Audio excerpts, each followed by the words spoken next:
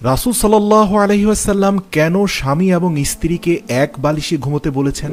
প্রিয় দর্শক আল্লাহ রাসুল সাল্লাহ আলহিহাল্লাম বলেছেন, স্বামী এবং স্ত্রী, তারা যেন কখনো তাদের মাথার বালিশ দুটি ব্যবহার না করে। স্বামী স্ত্রী যখন একত্রে ঘুমাবে, তখন তারা একটি বালিশ নিয়ে দুজনে ঘুমাবে। সাহাবিরা জিজ্ঞেস করলেন, ইয়া রাসুল আল্লাহ স্বামী স্ত্রী এক বালিশের মধ্যে মাথা দিয়ে ঘুমানোর উপকারিতা কি? আল্লাহ রাসুল সাল্লাহ সাল্লাম উত্তরে বললেন স্বামী স্ত্রী এক বালিশে মাথা রেখে ঘুমালে আল্লাহর রহমত ও ভালোবাসা বেড়ে যাবে।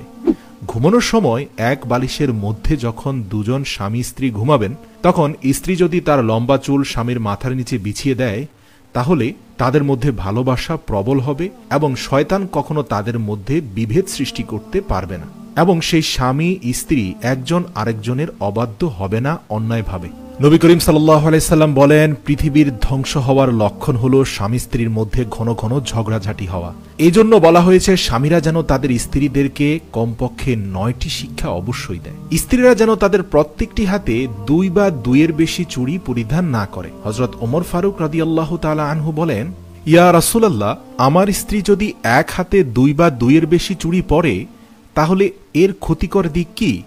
আল্লাহর নবী সাল আলহিউসাল্লাম বলেন তোমার স্ত্রী যদি এক হাতে দুই বা দুইয়ের বেশি চুড়ি পরিধান করে, তাহলে সেই চুড়ির ঝুনঝুন আওয়াজ পরপুরুষের জন্য হারাম।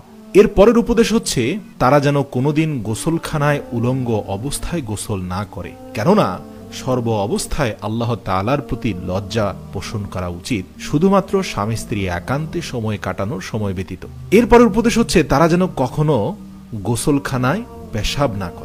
তারপরে শিক্ষাটি হচ্ছে, স্বামীরা তাদের স্ত্রীদেরকে শিক্ষা দিবে, তারা যেন কখনো কাবা শরীফের দিকে মুখ করে ইস্তেঞ্জা না করে। এবং এই শিক্ষা দিবে যেন কাবা শরীফের দিকে মুখ করে থুতু না ফেলে। প্রিয় দর্শক, আল্লাহ রাসুল সাল্লাহ আলাইসাল্লামের অন্যতম আরেকটি শিক্ষা হচ্ছে, স্বামী স্ত্রী একে অপরকে সবসময় সালাম দিবে।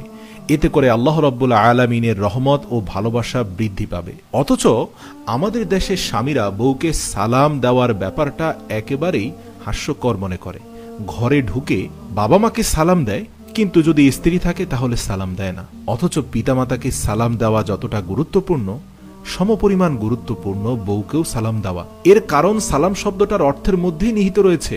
সালাম শব্দের অর্থ হচ্ছে আপনার উপর শান্তি বর্ষিত হোক। তো কাজেই পিতামাতার উপর শান্তি বর্ষণ যেমন তার জন্য জরুরি, একইভাবে স্ত্রীর উপর তো আরও বেশি জরুরি। তাই সালাম অবশ্যই দেওয়া উচিত, কেননা সালাম একই সাথে একটা এবাদত পাশাপাশি দোয়াও। মহাদ্দেশগণ বলেন, সালাম হচ্ছে রাসুল সাল্লাহ সাল্লামের সুন্নতের মধ্যে সবচেয়ে আজিম ও শান সুন্নত। যে সুন্নতটি আল্লাহ রাসুল কখনোই মিস করতেন না। আল্লাহর রাসুলের সকল স্ত্রীরাই এক বাক্যে স্বীকার করেছেন, তারা কখনো রাসুল সাল্লাহ সাল্লামকে আগে সালাম দিতে পারতেন না। আল্লাহ রাসুল সবসময় আগে আগে সালাম দিয়ে দিতেন। রাসুল সাল্লাহ সাল্লাম আরও বলেন, কোনো স্বামী যদি বিনা অন্যায় তার স্ত্রীর উপর জুলুম করে, তাহলে কোনো কোনো রেওয়ায়তে এসেছে, তাকে তিনটি উঁট ক্ষতিপূরণ দিতে হবে, কোনো কোনো রেওয়ায়তে এসেছে দশটি উঁট, আবার কোনো কোনো রেওয়ায়তে তিরিশটি, এমনকি ষাটটি উঁট পর্যন্ত ক্ষতিপূরণ দিতে হবে। একইভাবে কোনো স্ত্রী যদি স্বামীর উপর অত্যাচার নির্যাতন করে, তাহলে সেই স্ত্রীর জন্য জাহান্নাম ওয়াজিব হয়ে যায়। এই জন্য স্বামী স্ত্রীর মধ্যে ভালোবাসা এবং মহব্বতের বিকল্প নেই, কেননা এটা একই সাথে দুনিয়া আখেরাতের শান্তি বয়ে নিয়ে আসবে।